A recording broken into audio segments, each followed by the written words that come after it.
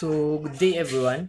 Uh, I am Niljan Guico from Two Hotel and I will explain the chemical process of film development as well as the process of projecting printing. So, this is the material needed in the process of film de- development. So, first is the film of development.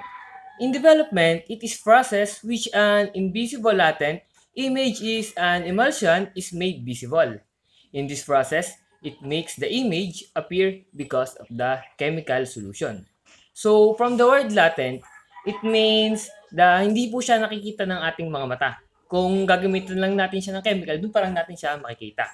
And from from development, next is the stop but, which is halts the developer action in inappropriate movements.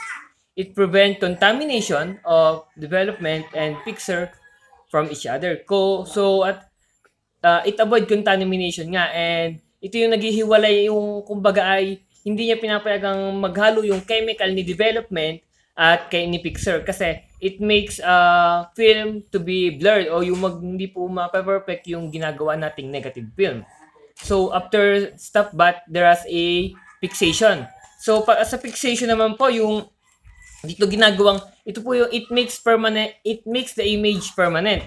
Yung ginagawa nating negative image is is magiging permanent po.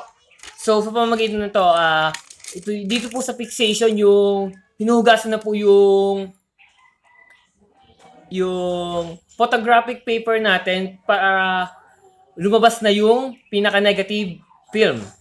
So, sa process na gagawin, dapat ay yung, meron tayong mga chemical solution which is the development, stop bath, and the fixer. Sa tatlo, pinakahuli ang kailangan ay yung sa fixer. Kung saan kinakailangan nga ng mawash ng ayos yung photographic paper para mas ma-view ng ayos sa dark room yung yung negative film. So, next naman po natin ay process of projection printing. In projection printing naman po, meron tayong tinatawag na um, the main equipment that used in projecting printing is the enlarger, which is the enlarger is here. Yan. So, the equipment used is enlarger and in the process of projecting printing, it is a, a type of printing when the image is vertically projected and enlarged into a print material for exposure to produce image. So the equipment, as, as I said earlier, the equipment used is the enlarger. Enlarger is also called projection printer. And so, and also we have these te three techniques, which is the cropping, burning in, and dodging. In cropping, it is excluding some images on the negative from the final print. Burning in, adding exposure time on a specific area.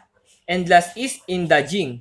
Dodging, holding back some lights to a specific area to make it lighter density. So, sa cropping, sinasabi, yung siyempre, alam naman natin, marunong naman siguro tayo ng crop, yun nga, yung inaano natin yung sa image, nagkakaroon lang po tayo ng yung certain images na yun na natin yung ating gustong i-portray. Sa burning in naman, yung nag add tayo ng exposure sa isang image kung saan gusto natin siyang mag, mag-stand out. And sa dodging naman, yung kumbaga ay yung lights na binibigay yung nagdadagdag tayo ng lights sa isang certain images or certain part of the image so that it can be um, uh, it can be more magiging kahika-hikay tingnan sa makakakita. So we have this processing in in projection in production printing. So first is prepare the chemicals like the chemicals in film development. We also have this kind of materials. So first, prepare the chemical solution which is the development, stop bath, and fixer. Because it is the main main part of the in making a film. Or, uh, no, um, negative film. So, next is choose a negative film. You while choosing in negative film, we will be using enlarger to so that we can see properly uh, the image that we will use because of the enlarger. And after choosing um, some images or image that we will be use, we will apply the chemical solution process. Like um, we will put the we will put the water and water and solution in the cylinder that has in development 900 ml water and stop bath is 1000 ml water or 1 liter. So after producing a chemical solution, we will put it into the tray.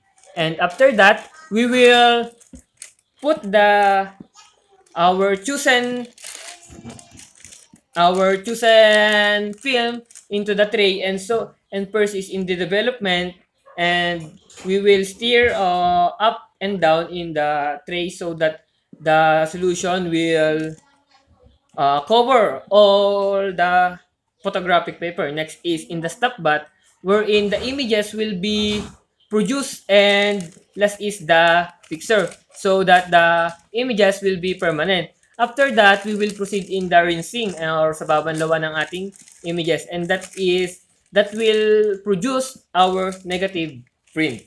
So that's all um, the knowledge that I learned from the lesson and from the videos that we have watched. So that's all. Thank you.